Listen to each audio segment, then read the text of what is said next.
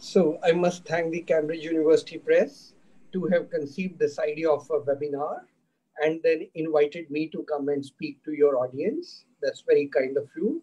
I've always enjoyed my interaction with the Cambridge University Press, be it the book that we published together, and now this experience or other things that uh, uh, Ms. Anvesha and uh, Ms. Kudsia have been um, organizing. So thanks again. Now the topic is very vast, so I'll go to the topic right away and share some of my thoughts. And then, of course, I'm more than happy to take questions at the end. And uh, if I can, I'll try to answer. And if I if I can't, probably I'll ponder over it and at some point of time put it on Twitter or somewhere. So let me start with where are we right now and what is happening to us right now. So we'll analyze the situation. And after we have analyzed the situation, then I'm going to walk you with uh, different sectors, my opinion on different sectors. And then, of course, we will conclude and then we'll take the questions and maybe we will evolve. Let me at the beginning confess to you that uh, this is an unprecedented thing that has happened. And therefore, knowledge base of everybody, including the economist and certainly myself, is very limited. So we are all thinking together in this whole highly dynamic and totally uncertain environment. And you will see during the course of my presentation that what I'm saying is I am meaning it because these are really challenging times. So the issue is where are we right now? And is it really that challenging? Now, if you remember, before the pandemic hit us, we were growing around 4.5 to 5% uh, annual rate of growth. And if you recollect, the debate was that we are growing at a much lower rate and we need to be growing at 7 to 8%. And when we grow at 7 to 8%, even that is low, we are actually, we need to grow around 10%. Because our demographic situation is such, you, so many youth in the country, we have to create jobs for them and we have to create a conducive environment for them so that employment is generated and they can find meaningful uh, jobs. Not only meaningful jobs, you know, the prime minister of our country, he had said that we should be a $5 trillion economy in the next five years. So the whole country has been thinking and thinking how to make that $5 trillion dream of the prime minister come true. And if you know, uh, America is a $20 trillion economy and China is nearly a $13 trillion economy. And if we have to recover our global position $5 trillion economy is not just our objective. It is just a milestone we have to keep moving. And I'm sure you are aware that in 1980, India and China were almost at par. America at that time was a $2.8 trillion economy, something which we are today. And China was around one, $191 billion economy and India was a 186 billion dollar economy. So India and China were almost at par. America was 2.8 trillion dollar economy, and of course Germany was also around 1 point some trillion dollar economy. Today, the things have changed. America has become a 20 trillion dollar economy. China about 13 to 14 trillion dollar economy. India is 2.8 to 3 trillion dollar economy. We wanted to become a five and take off from there. This was the scenario before COVID hit us. Now, what happened? Something unique happened. This is not something which can be found parallel. We all are aware of the 2008 crisis. The epicenter was the USA, and the housing sector was the crux, the pivot from where the whole thing happened. We all know that. But you must be aware that in 2008, the epicenter was America, but the world was moving on. And then there was a contagion and went to Europe. And then it came down to other emerging countries, as you would expect in any spillovers that happen because the world is co-integrated and spillovers do take place. Their growth means our exports and so on and so forth. But this time is different. This time, at a single date, the whole world is closed. Delhi is closed. Noida is closed. Bombay is closed. Lucknow is closed. India is closed. London is closed. New York is closed. Germany and France are closed. So the planet is closed. Now, what happens? When there is a contingent traveling, like in 2008, you have one country in crisis, other countries, the engines are moving, growth is taking place. But now, when everybody is closed, whom do you seek help from? Where would you get assistance from? Everybody is struggling within their own economy so that their population and their finances and their monetary policy and their businesses, industries, and MSMEs can operate. So, very unique situation that has happened. The world has become flat and the world is closed simultaneously at the same time. That aspect needs to be appreciated before we start thinking, you know, I can borrow from America, I can borrow from Germany. Yes, they're rich countries, they're advanced countries, their resilience is much more, but they are also struggling within their own economies. The second thing then we have to consider is, and looking close at it, is the pandemic of 1918. The pandemic of 1918, if you look into history, came in different waves. And the different waves that it came in were very educated. Take as illustration, wave one, X is the fatality rate or the mortality rate. X. Wave 2, 5x. Wave 3, 2x. So that means that the next wave is far more lethal and the third wave may not be as lethal as the second wave, but will not be as benign as the first wave. So therefore, one has to be prepared for it. Now, the issue is how long do these waves last? These waves can last for 18 months to nearly two years. That's a long time. And therefore, any economy has to prepare for a long haul. Just can't say that 60 days of lockdown means now we are going to recover, everything is hunky dory, and we can start the engines again that's now how simple these pandemics work. They come every 100, 150 years, but they leave a mark. They change the course of direction in which the human race moves and works. So keeping these two things in mind, that this is not like the 2008, this is more like the 1918, and this can happen in waves. We need to start analyzing how the economy should be moving forward what should the government be doing and what should the monetary authority be doing. So we will correct it as we go further. Now the issue is fine. We know we were growing around 4.5 to 5%. Fine, we know this is going to come in waves. These waves can last 18 months, two years. This is beautiful. We know it now. Now what? So different agencies have made different estimates the IMF and the World Bank came out with an estimate in April saying that India will be the fastest growing economy, but the growth rate will be only 1.9%. There are other private agencies who said we could probably get into negative zones. I did a study which is at the EGROW Foundation, and uh, my colleagues at the EGROW Foundation have also done their studies.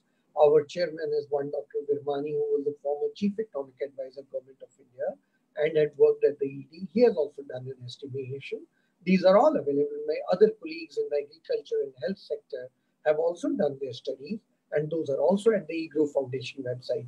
You're welcome to see it. We are of the opinion at EGROW that we may not go into the negative zone different estimates, different assumptions, and I can just share with you my own assumption.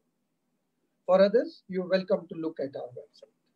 My own assumption has been that 60 days of lockout, but during this 60 days, everything was not closed. About 37 to 40% of the economy was working. Who was working? Medical services are working, banking is working, defense is working, police and government administration is working. Secondly, schools and colleges have not really closed. Online classes are on.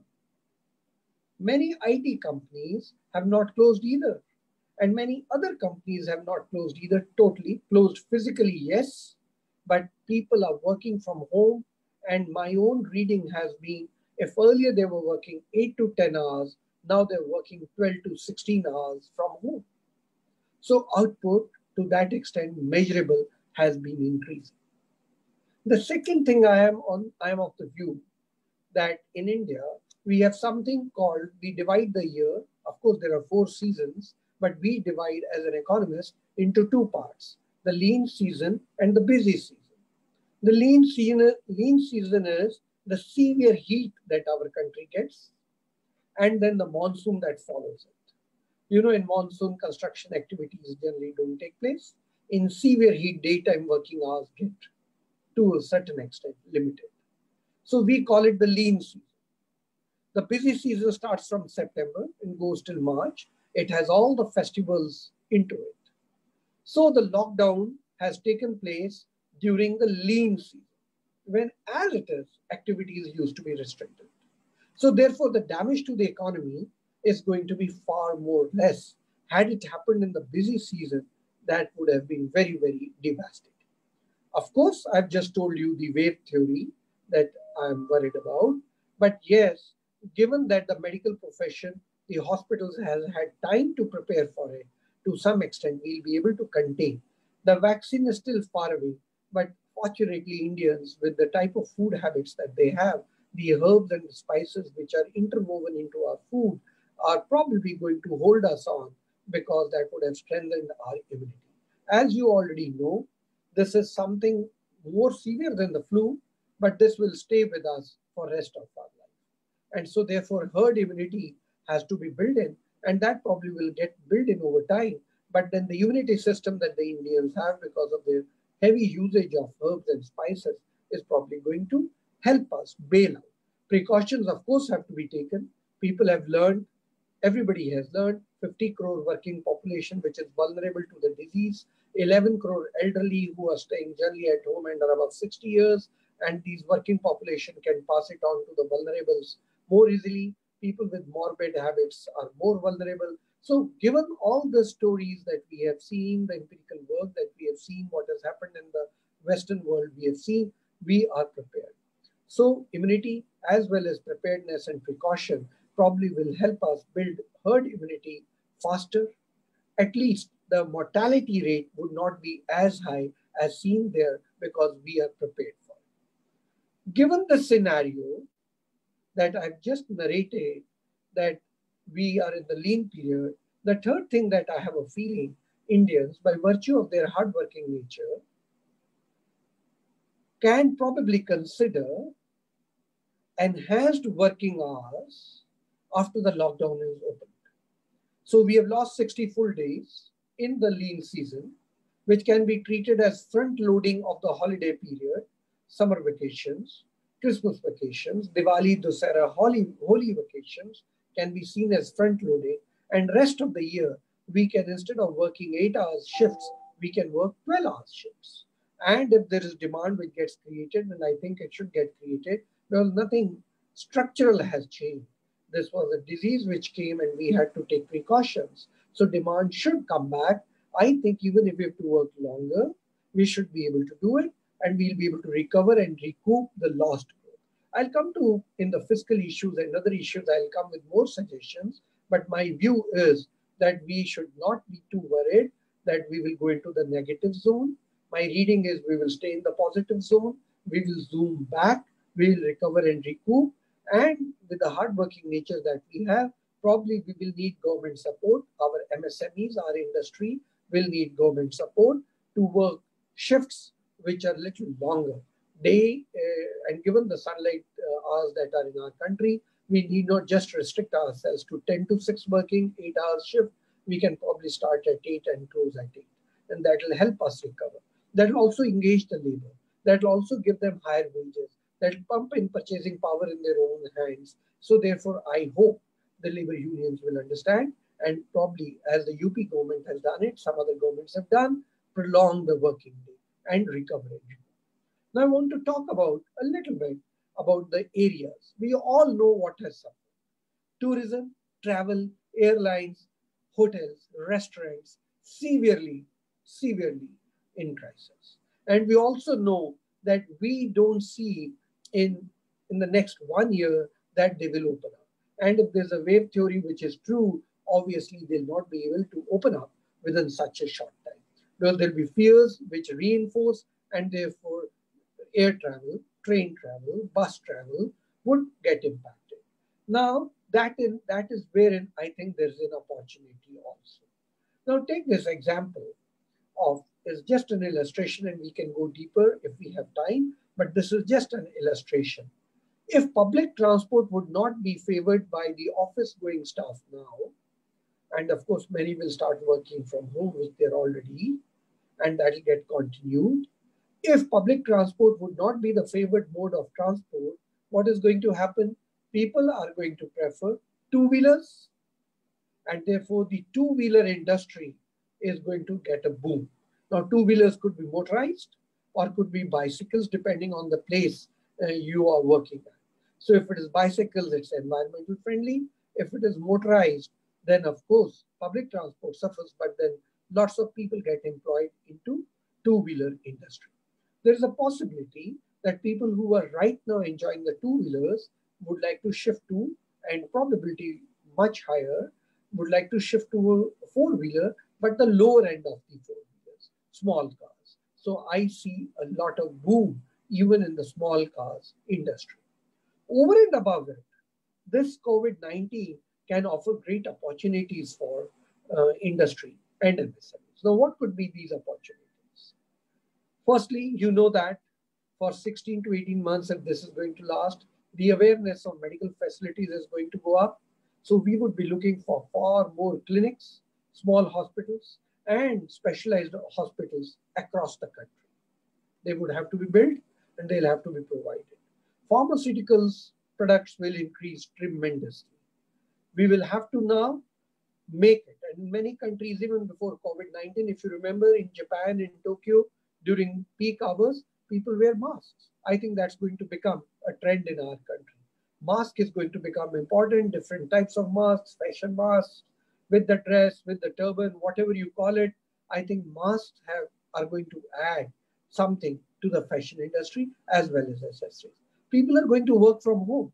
Right now, all our dressing pattern, the wardrobes used to be office and home. Now it is going to be little mixed. If I'm going to working from home, my wardrobe is going to change. So the fashion industry is going to swing into action and give me those comfortable wears where I can do Zoom sitting at home. I need not be dressed in a suit and a tie and a coat, but I need not be even dressed in a lungi. So the fashion industry is going to, and uh, and textile industry is going to get lots of. In addition to all this, you will see that people working from home, would they be cooking at home? I'm not sure. So I think the hotels which may not be able to make people sit together now, they would be they'll become big takeaways. And when they become big takeaways, the they are going to be serving lunches to people in large numbers at homes, and they will need delivery boys who will have to deliver these things. So there are opportunities which are going to come up. The conferences are going to happen digitally now, the way we are doing. And therefore, many more programs, packages, and digital platforms will have to be generated, which will take care of all these requirements of modern conferences that will take place. Humans are social animals. They may not be able to play soccer now. They may not be able to play cricket in the in the field for the next 18 months, but I'm sure the computer world is going to generate for us games which I could be sitting in my room, somebody in another house, and we could be interacting and playing games. So many more IT related activities are going to get a boost. Similarly, yes, we may not be able to go to the gyms and enjoy together doing our exercises, but I'm sure he, single home gyms or equipment that can be bought and used for training is going to come up. many more such innovative activities will come. And let me give you a few more illustrations before I go further. You know that in our country, which was known for qualities of the hand, take an example of a weaver, handloom weaver, khadi, village and cottage industry, sculptures. These are the people who have qualities of hands. In this race to modernism, we had started the power looms and huge industries, but the migrant labor has gone back to their native place. We have to keep them engaged and they are not small. The total labor force in the country is 50 crore, 10 crore are migrant laborers. They are not a small number.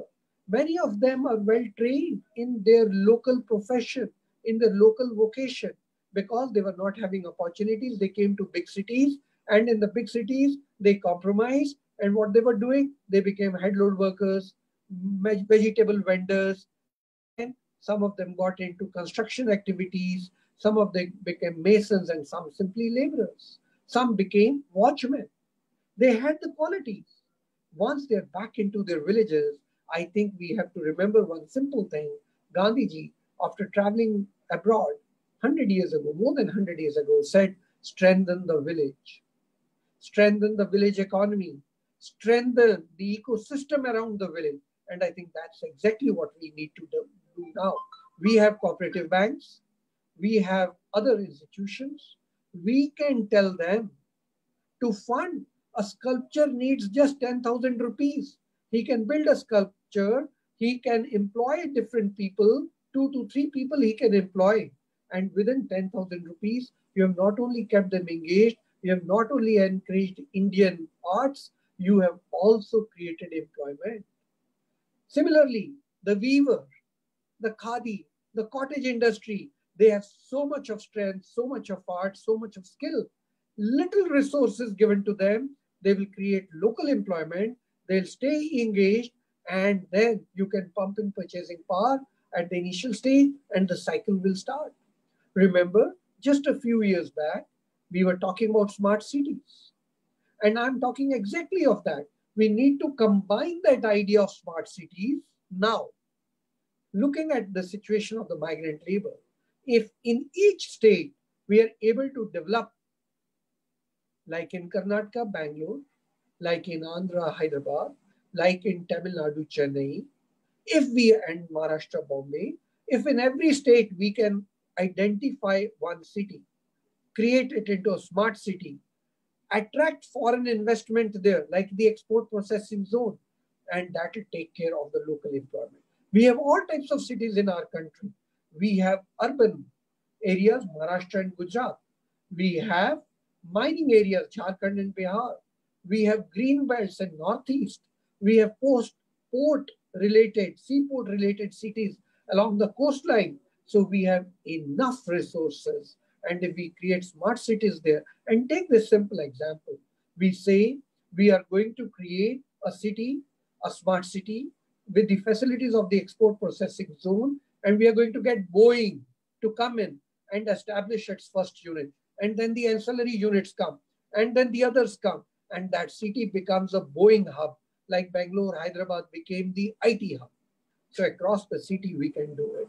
We could also have, we could also have medical tourism. We could also have religious tourism.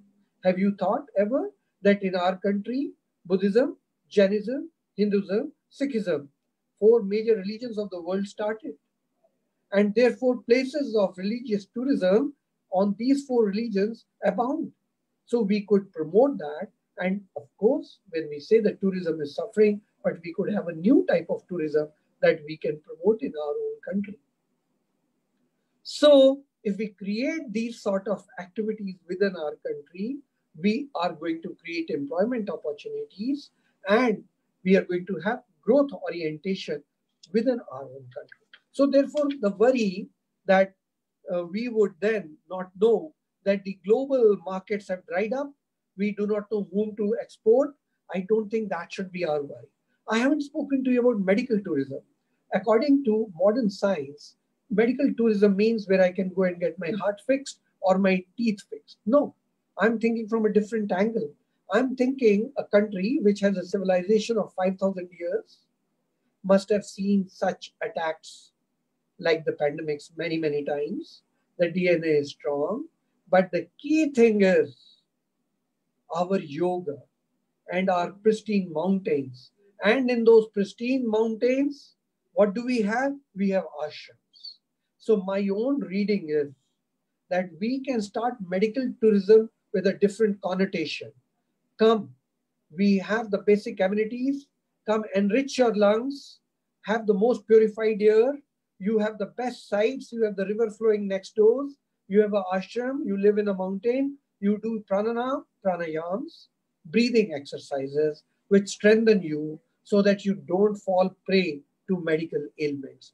I am not looking for medical tourism which comes from under an ailment to an hospital gets treated and goes away, like has been happening in Bombay, where the uh, from the Middle East people come. I'm looking for medical tourism where people come healthy, become healthier, and go back and stay healthier, and then they come back. And I have I have in mind those green places, those mountains, and places like Rishikesh, where on one side the river is flowing and you can see Ganges at its origin, and then you stay in an ashram where everything is provided for. So these sort of new innovative out-of-box activities can lead to a reset button on which I'm going to come in my concluding session. Now the issue is how do, how do we go about the fiscal situation and the 20 lakh crore, the stimulus package which the government has given. I, I follow a very simple hypothesis. I say in a country like America, where people have been contributing tax to GDP ratio to the range of 35 to 40% in UK and other countries of uh, Europe. There are places where the tax to GDP ratio is even about 40%. In our country, it is less than 18%. Despite all type of efforts which we have been doing in the past, tax um, amnesties and all that, tax GDP ratio never goes up. And when I talk of tax GDP ratio, I'm talking of center states, local bodies, every tax put together in the kitty and then measuring it against the GDP. If it is 17 to 18% of tax to GDP ratio, then this is the best the government can give. You can't expect not to pay taxes, but expect the government to give you all the relief. The government is thinking about it, has taken precautions, came well in advance as far as the lockdown is concerned, prepared the medical fraternity to prepare for all the challenges that can come in the way. They're doing their very best. But you have to also keep in mind that yes, they have not only to prepare for the current wave, they are also facing the same amount of uncertainty as you and me are facing.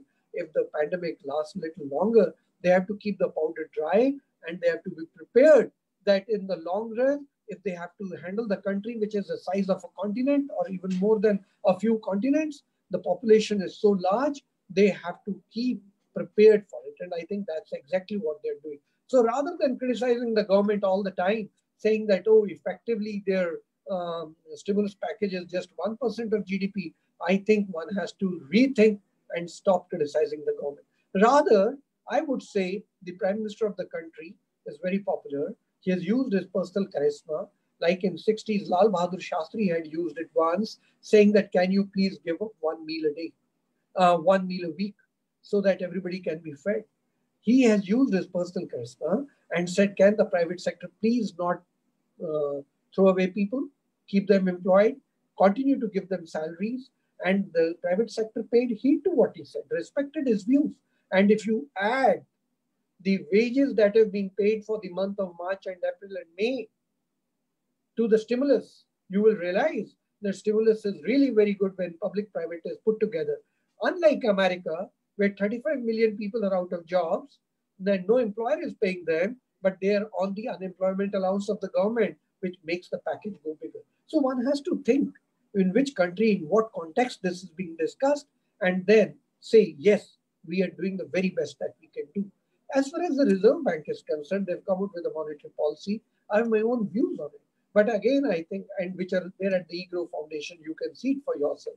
But I'm again of the view that the Reserve Bank is also preparing for a long haul. And therefore, when they are reducing their interest rates in measured tones, one has to respect that. very, very uncertain time, both production and inflation. And from an institution of the Reserve Bank, central banks are generally conservative. I think they're playing, they're doing a good job. Financial institutions, the banking. Now, what is banking? For example, what is a government? Government collect taxes and spends it. That's exactly what they're doing. Government can borrow, but when it borrows, it engages the it engages the future generations because I'll benefit, but future generations have to pay and they have to also pay interest.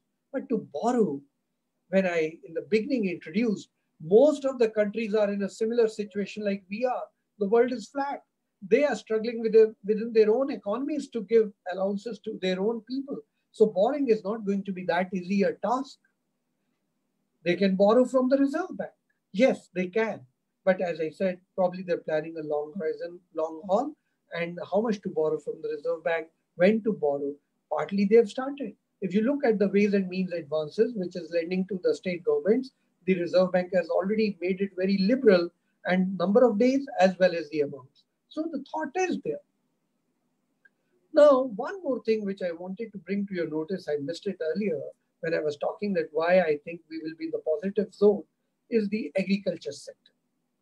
The agriculture sector engages nearly 55% of the population. And agriculture sector has not been much impacted by the pandemic. The Rabi crop, which has been harvested just about a month back, was a record crop. Food Corporation of India played its role. Food, uh, the fair price shops, five, uh, five lakh of them distributing food across the country. The Kharif crop, the sowing for which has to start now, given the good forecast of southwest monsoon, I don't see a problem.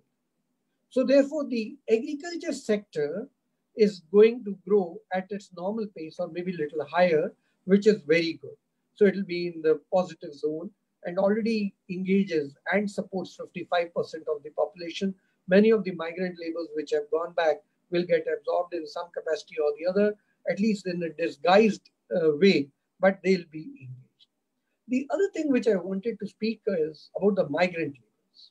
Now, when we say that unorganized economy in the country is nearly 90%, people are working in the unorganized sector, yes, but when they are earning and living hand to mouth, they earn during the day and on their return home they buy food and then they eat that.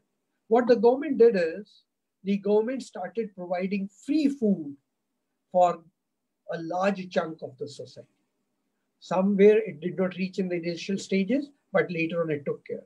And then the government also requested the NGOs, the mandirs, the gurdwaras, local trusts to provide food. Even local industry started providing food.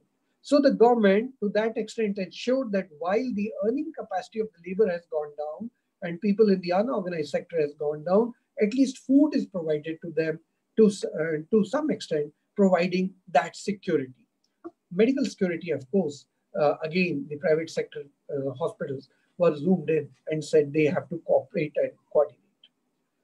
I would like to now start my closing uh, remarks I would like to bring to your notice that industry depends on artificial intelligence, machine learning, automation, and that obviously had started much earlier.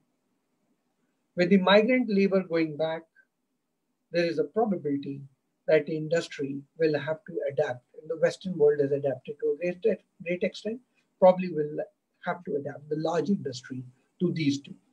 As far as MSMEs are concerned, as I mentioned, that little amount of money can start engagement and employment of more than two to three people. That I think will have to be the case. MSMEs, there are 6 crore of them right now, employing 12 crore of people, have a very high mortality rate. Many of them are not registered. Many of them are registered with the power sector, but not with the GST. So therefore, MSMEs is a challenging area which we have to address. Different efforts have been made by different governments over a period of time to strengthen the MSMEs. I have a different take on this. I'm saying a time has come when we need state-wise MSME universities on the lines of agriculture universities. Remember in 60s, we were not self-dependent on food and we would have to wait for food to come in a ship from America or Australia. Many of us remember the PL Public Law 480 and how we started the Green Revolution, the compulsion in every state agriculture universities was started. And now today, we are food surplus. Food Corporation of India has food not only to feed the humans, but even many rats and four-legged animals. And all sort of things happen. You must have read the uh, report which came out in 2014 about the Food Corporation. That means enough surplus stocks are lying in the Food Corporation of India. So much we have gone ahead. I think 6,000 commodities, products which are produced in MSMEs, they need to be, and many of them are state specific. There is something Kolhapuri Chappal, Jaipuri Rajai, then something in Punjab, Phulkari, then something in Kerala, something in Karnataka. Each one of the states have some special material for MSMEs, the, like the agriculture products. So if we have MSME universities imparting education in local language, and MSME university is not an ITI which, which teaches you how to do good plumbing or become a good electrician. MSME university is not an IIM which teaches you to become a manager in Goldman Sachs or Uh, JP Morgan. MSME University teaches you how to be an entrepreneur and how to handle the supply chain, create your own supply chain, know about the markets, input and output, know about accounting laws, know about labor laws, know how to run the entrepreneur firm, know about the human resources, know about accounting and maintaining accounts. That sort of MSME university, which trains, like you have a defense academy, which trains an individual to become a soldier and officer. You need MSME universities, which are academies to generate entrepreneurs. We need them. We'll not be able to absorb the type of demographics that we have in our country in organized labor in terms of defense or civil services. Now, I want to close by making two observations. One is, I'm looking at COVID-19 as a great opportunity for India. And what that opportunity is, I will come back to you after this statement. I think COVID-19 has made all of us think. Economists, public policymakers, everybody, philosophers. According to me, the big philosophical change that I see from COVID-19, which has a bearing on economics, and I'll show you the parallels, is that we need to reset. And what, what is that we need to reset? Live and let live. We always believe live and let live is only applicable within a family or within a society the philosophical understanding that I'm getting now is live and let live is for the planet and for the universe. We have to start thinking this planet on the top of the food chain may be humans, but there's a complete food chain right below us, and we have to take care of it. We have to live and we have to let live. They have as much right birds, plants, animals, fishes, whales, they have as much right on this planet as we humans have. So monopolizing the planet and pushing everybody at the cost is not what the nature is going to permit us. And I think that is the reset button that has happened.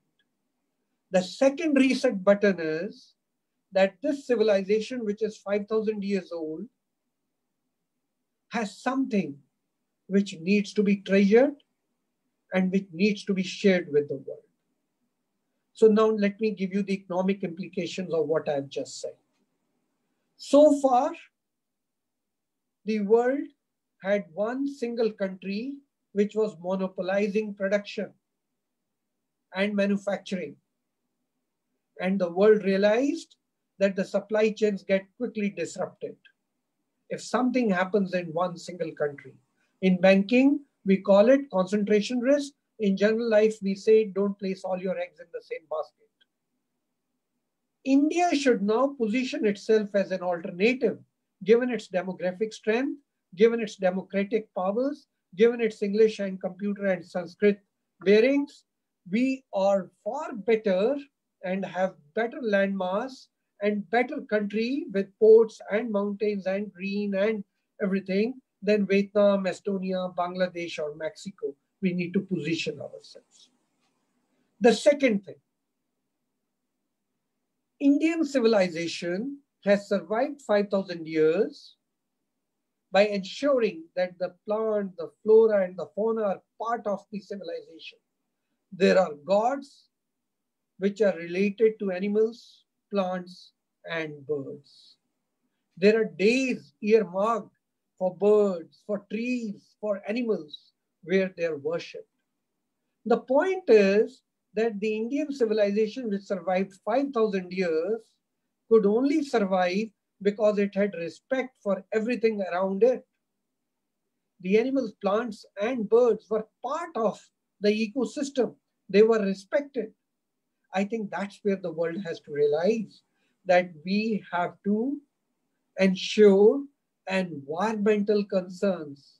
We cannot, in the rat race of development, trample the environmental concerns. And the environmental concerns don't just start by killing every animal in the jungle. It starts from preserving, respecting air, water, and earth. That greed that we had or we were trying to demonstrate we have in the rat race has to stop. And not only that, we had left our planet and taken our deceptive weapons to the space and started fighting wars there and throwing debris there. I think the reset button is that the civilization which lasted 5,000 years learn from it, respect the environment, and learn to live on the planet with contentment. There's economic implications of that, which I have just mentioned. Let me conclude my presentation here, and I'm happy to take questions uh, now. Thank you.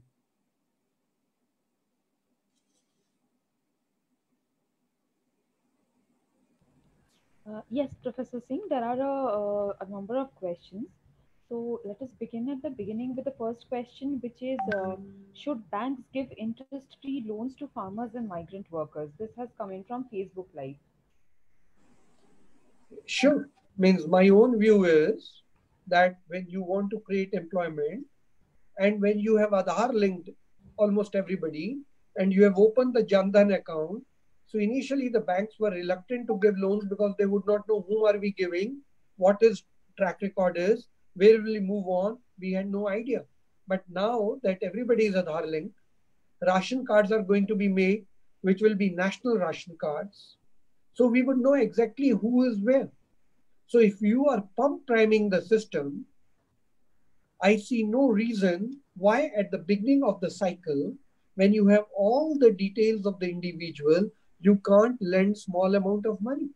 And as I mentioned, that we want to strengthen the village economy, cottage industry, and they are there, we should be prepared to give little amount of money and start the system. As far as the larger amounts and larger industries are concerned, you know that they are more resilient, they're far more responsible, their plant and machinery sitting there, so it just can't vanish and evaporate.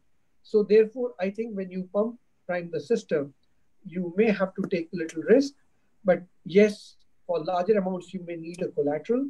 For smaller amounts, I think you should be prepared to lend and extend. Cooperative banks, microfinance institutions, self-help groups, NABARD has a network of officers, SIDBI and commercial banks. All of them have a network spread out across the country and they can be tapped to start this cycle again. I would like our local artisans with their local skills to be encouraged. That will take India far ahead. That is, uh, uh, thank you for responding to that. I would just like to add on to this that, uh, you know, of course, uh, local artisans can help in a lot of ways. But right now, the situation that we see in the country, you know, a lot of people are without jobs, without food. And uh, don't you think that we are kind of shifting the onus from the people in charge uh, and uh, a lot of people have asked questions about migrant laborers and informal sector so i'm kind of combining all of that into this question that uh, do, do you feel that we are also shifting the onus from the actual people in charge whether it is the government or whether these are uh, large corporations who were capable of making more of a difference and moving it on to people and we're talking about being self-sufficient or not? There are also other questions on workers in the informal sector especially and uh, how we are thinking about helping them.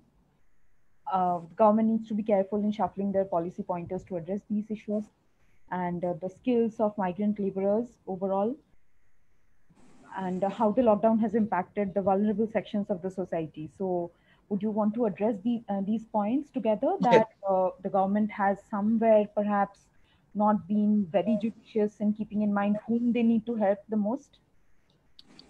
Couple of issues that i would like to mention here. First of all i agree to some extent that in our country the central government and the state governments have swung into action quite actively. We have been hearing them, we have been seeing them on television, we see the Prime Minister on television, we see the Chief Minister on television. I've always wondered how about the local authorities? They're also elected representatives, Panchayati Raj institutions, municipal corporations, municipal councils, where are they? And they are the closest to the people. They live in the same area. The parliamentarian goes and works in Delhi. The legislate, uh, the person who's the state legislation legislature, he goes and works in the state capital, but the local panchayat or the local municipal, municipal corporation person is living there. He knows all the people, he knows in which house how many people, he knows in which house there is no food, he knows in which house they're elderly, in which house how many labor hands are available, very close to the people. So I think local authorities, we had done the amendment 73rd, 74th amendment long time ago. I think that needs to be strengthened. And therefore, I think that tier of the government has not shown up as aggressively as it should have. Well, they would, had they shown up, then these problems of uh, distribution of food or medicines not reaching everybody wouldn't have really come up. The second point that I am of the view, all of us have band-aid at home. We have some aspirin or crocin at home. The clinics and the hospitals come later. All of us have umbrella at home we have to have an umbrella approach. Something we have to do ourselves, and something then we can expect the others to do. In our case, I have always observed that not only before COVID, if you read my articles much before that, I have always said that we are very reluctant to pay taxes to the government. But in any event that happens, our first reaction is why is the government not bailing me out? It's very strange. We never contribute, but we want everybody else to come and bail me out. Who will come and bail you out? Some taxpayers' money is getting engaged and involved. So I think the government, as far as I think, I've already told you the third tier did not swing into action. It should have swung into action. But I also think from this time onwards, people should start thinking that tax collections are meant to build infrastructure which then help in times of crisis.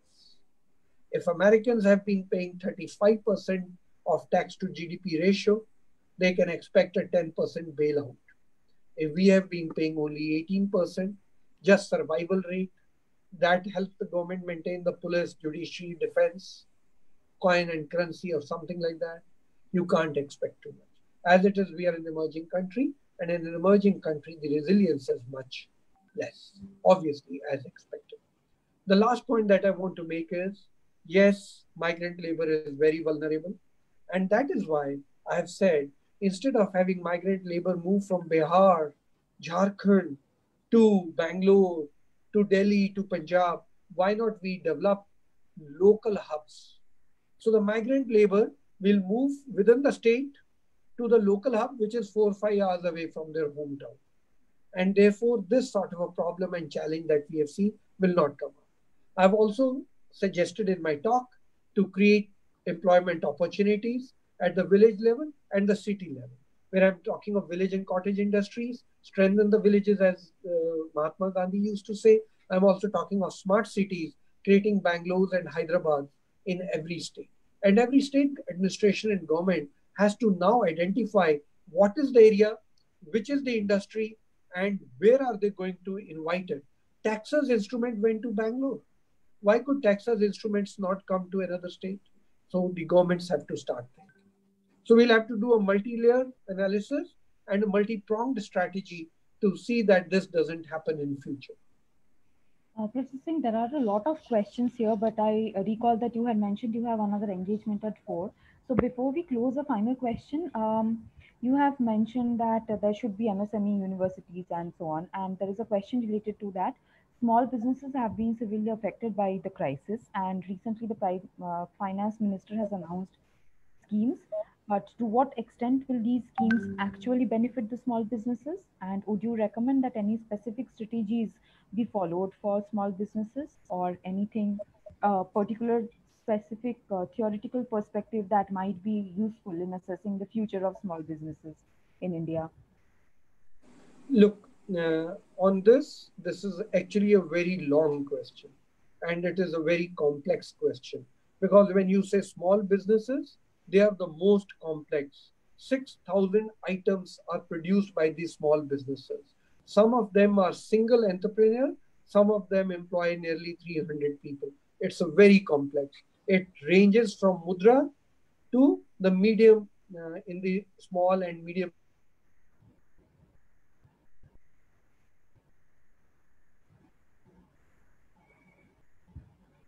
extend loans. Moratoriums have been extended. But I have a suggestion here for the government. I have said when you are in crisis, you don't take a loan. You need a grant. You need support. So I think that is where we will have to go. From the government's angle, you have to see where do they have the money? And given the track record, how much can they sink somewhere? It's something like a loan waiver. Can you encourage the loan waiver culture? Because beyond 18 months, the country has to survive. The government and the monetary regulator has to survive. And therefore, they have to plan in terms of next 100 years. They just can't plan for and say, okay, I exhaust all my, I open my treasury and give you all the money. They can't do like that. So it is a difficult question. A balance is being tried. Some money is being extended, moratoriums are being extended, interest rates have been reduced, uncollateralized money to a certain extent is being offered. All that is being attempted. But beyond it, I don't think we can do too much. Who should play a role now? I think MFIs, self-help groups have a role to play. I think family has a role to play. And we need to be more supportive to each other. The community has a role to play and help each other. The local artisans can be supported by the community, community banks, cooperative banks. That is where I think we all have to come together. It's not a, it's not 2008. It is a pandemic. We all stay together stay united, and stay under one tree. You know, when forest fires break out, under a single tree, all types of birds and animals come and stay there supporting each other. This is the time to melt away differences and come together. Each one will have to do something or the other for each other. So uh, I don't think government can only help and bail us out we will have to bail ourselves today. Thank you, Professor Singh, for that. Uh, there were a lot of questions. Perhaps uh, I have compiled all of that. Perhaps I could send it to you, and uh, because you write very frequently, perhaps uh, you could address all of those in the next few articles that you are planning to write. I would uh, now, I would just thank you for joining us today, and also to the all the participants. And we need to go now, but uh, thanks again, Professor Singh, for your presence and also uh, for reassuring a lot of us in these very difficult times, for making it very relatable to a lot of participants. Thank you very much giving me this opportunity. And I am of a firm view that the 5,000 year old civilization must have seen many such things happening, and the DNA is strong enough to come out of it with resolve, strength, and better. It's a reset button. Look at India, follow India, respect the environment, live and let live like the Indians have done all these years. Thank you very much.